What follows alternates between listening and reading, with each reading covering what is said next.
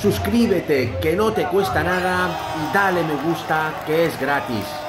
Antes de empezar, no te olvides de darle me gusta, pulsar el dedito de arriba, que no te va a costar nada, es totalmente gratis para que este vídeo llegue a más culés como tú. Buenas amigos culés, ¿qué tal estamos? Voy a empezar este vídeo con la actualidad de nuestro Barcelona. Ya es oficial el club acaba de tomar la decisión de no renovar a Sergi Roberto. El capitán tiene que abandonar el Barça el próximo verano. Seguimos con la actualidad de nuestro Barcelona. La cúpula del Barça está muy preocupada por esta liga. Creen que todavía existen opciones para ganarla, pero el Real Madrid, que no deja de adulterar esta liga, la está poniendo muy difícil. Esto es lo que piensan algunos periodistas de renombre culés sobre esta liga adulterada. Muy importante. Vamos a escucharlos. Antes también por cosas que van a enfadar a la comunidad. Indignados, indignación. Michel y Xavi creen que así así gana Madrid y que hagas lo que hagas, esta liga ya tiene un tinte y es de color blanco. Santi, ¿nos tenemos que preocupar en ese sentido? Yo creo que tenemos que preocuparnos sobre todo por la, por la presión que ejerce un medio oficial del Real Madrid como Barça Televisión. Televisión? sí, como Madrid Televisión, sin que, sin que el comité de árbitros y la federación tomen cartas en el asunto. Eso es lo que me parece más, eh, más bestial de todo, de todo este tema, ¿no? en el sentido de que eh, los árbitros están siendo presionados a un nivel brutal. Y eso no había sucedido nunca y de alguna forma siempre los eh, árbitros eran bastante corporativos y cuando existía esto, pues eh, cualquier eh, afirmación de un medio oficial siempre habían reaccionado. En cambio, ahora no reaccionan y hay programas en los que los destruyen y los destrozan de una forma tremenda. Eso también está creando de alguna, de alguna manera un, clima en el espectador, en el aficionado, ¿no? Como eh, de, falta de respeto al, eh, al, colectivo, al colectivo arbitral, ¿no? Y después yo veo una segunda vía, que es la vía esta del bar, ¿no? O sea, yo creo que la gente piensa que el bar es tecnología y no es tecnología. La tecnología es el ojo de halcón, es el que, bueno, puedes tirar una raya en el fuera de juego, pero lo que es el bar es... Eh, no deja de ser interpretación. Ah, antes había un árbitro que podía equivocarse, un árbitro principal que podía equivocarse, y ahora hay dos que pueden equivocarse. Con lo cual, eh, lo que se ha hecho es eh, doblar, ¿eh? aumentar el nivel de, de, equivocación y después, claro, las interpretaciones, al ser el fútbol, estar tan abierto a lo que es la interpretación, pues bueno, mm, genera mucha polémica. O sea, no hay día que no... O sea, todos los días hay polémica, absolutamente todos. El último, el día del derby. De hecho, ya lo veis, hoy el artículo de Santi Noya, no hay día sin polémica, porque en cada partido, no solamente el del Barça, sino también el del Girona, pues va aumentando. Fernando, ¿tú crees el que... Derby también. Y el, y el propio derby Atlético de Madrid, el Real Madrid Atlético de Madrid. Fernando, ¿crees que va a ser un hándicap importante o aún se puede hacer alguna cosa antes de que acabe la temporada? Y que de alguna forma de aquí al final sea un poquito más justa la competición. Queda tanto que, hay opción para todo, ¿eh? Y, el Barça tendrá calendario, tendrá un calendario más asequible, luego se le complicará, pero también entrará el factor Champions, para el Atlético de Madrid entrará el factor Copa también, esta semana. Bueno, eh, el, próximo partido hay un, la próxima jornada hay un Madrid-Girona, que ya se recortarán entre ellos, alguno de los dos, se supone, o los dos.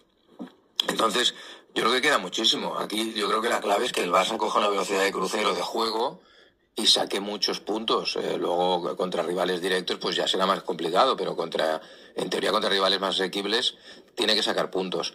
Pero aparte de esto, yo sí que creo que el arbitraje y el VAR eh, tendrá mucho peso y ha tenido mucho peso ya en esta liga. Mm, ayer el Madrid eh, se quejaba de un agarrón a Bellingham en el área, creo que de Marcos Llorente, eh, y lo pedían como penalti. Bueno, pues hubo un agarrón en el clásico de Montjuic en que Chuamení cogió del cuello por detrás Araujo, le impidió saltar, le puso todo el peso encima, y allí nadie vio nada ni se pitó nada. Entonces, si ellos piden este penalti, me parece ilícito, pero es que entonces el de Araujo, eh, que no pitaron, debería haberlo sido, y era con 1-0 en el marcador. Pues mira, quizás el Barça no hubiese tenido un hándicap de menos tres puntos en ese partido. No te digo que ganase el partido, pero igual se, marcando ese penalti se pone 2-0.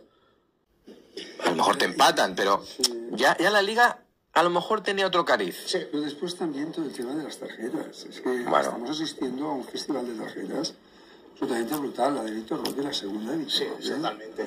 Vas a recurrir, a ver. Es que es, me parece que es, eh, es brutal. Yo, yo no sé vosotros, yo veo plancha del jugador del Alavés. Yo veo plancha, yo veo que, Rafa Marín va con los tacos por delante y que Víctor salta. No digo que no le roce saltando, pero que él no va a darle, que lo que único que hace es evitar cuando el temerario no es él, sino el otro. Claro, y al final te sancionan por temeridad. Al, Girona de las tres, dos son por protestar. Una cuando el partido ya acabado. Sí, sí, a Blind. Y una Blind que realmente sí es lo que dijo, lo que le dijo a Mitchell, que es simplemente only two minutes, de decir, solamente vas a añadir dos minutos cuando hemos estado mucho tiempo perdiendo no, y, Gil Manzano seguro que sabe qué para el partido tiene después claro. el Girona. Y seguro que sabe, porque lo sabemos todos nosotros, que Dali Blin está apercibido de sanción. Vamos, a ver. En el, derby ayer creo que hay cinco tarjetas para el Atlético y ninguna para el Madrid. Ver, entiendo que el Atlético también es un, es un equipo más... Eh, es, duro, sí, es potente. Más, eh, defensivo, pero bueno, estamos asistiendo a un festival de, de tarjetas eh, que tampoco estábamos acostumbrados. O sea, aquí no es solamente eh, lo que se produce en la acción de los, eh, de los partidos, ¿no? sino también sobre lo que puede pasar en, el, en los próximos encuentros. Claro, hay que tener en cuenta que el, el Barça, si hay dos fines de semana para recortar, era este y el que viene. Bueno, de momento ya ha hecho, en, este ya lo ha hecho. Y, es, y en el otro seguro. ¿eh? Si gana, seguro que la recuerdo. Si se enfrenta en un segundo, se enfrenta Girona y, eh, y, Madrid, con lo cual ahí seguro que habrá. Después, como eh, comenta Edgar, es más, el calendario se complica, pero en estas dos jornadas son dos jornadas sensacionales para poder recordar. Y acuérdate que el del Almería, que nadie contaba con que el Madrid pudiese fallar contra el Almería. Estuvo a punto de fallar. Acordaos cómo se resuelve aquel partido que a veces hay resultados inesperados. El Barça también sufrió en casa con el Almería, pero es que el Madrid sufrió en casa con el Almería y hubo varias decisiones de VAR que fueron a favor suyo. Pues a lo mejor en ese partido no te digo que, pierda, pero a lo mejor lo empata. Dos puntos más. Dos puntitos más, oye. Y hay varios. Los están, están viéndose, están escuchándose los audios. ¿Os acordáis el del rayo? Sí. No, no le da de lleno. Perdona. Espino le da de lleno a Rafiña dentro del área. No me digas que no le da de lleno, si lo está viendo todo el mundo que le da de lleno. Está lo de Vinicius y aquel de Gaby. No, que le da con el bíceps, Gaby, claro, es mano.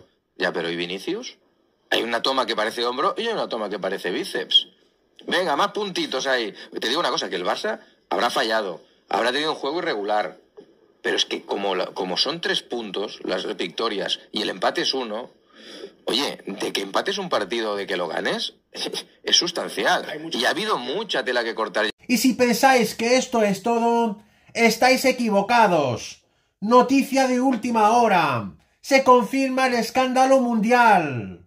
Fuentes cercanas al club informan que a pesar del recurso del Barça presentado hoy por la injusta segunda tarjeta amarilla que recibió Vito Roque en el partido contra el Alavés, el comité de competición no va a quitarle la sanción al delantero brasileño. Y eso quiere decir que, salvo sorpresa, Vitor Roque no va a jugar el próximo partido de liga que tiene Barcelona en casa el próximo domingo contra el Granada. Es una auténtica vergüenza. Esta liga está adulterada. Esta liga está adulterada por el Real Madrid.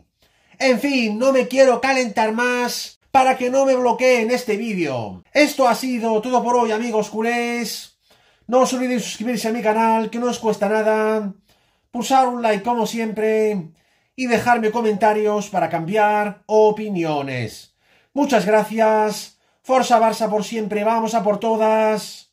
Y nos vemos muy pronto en mi próximo vídeo.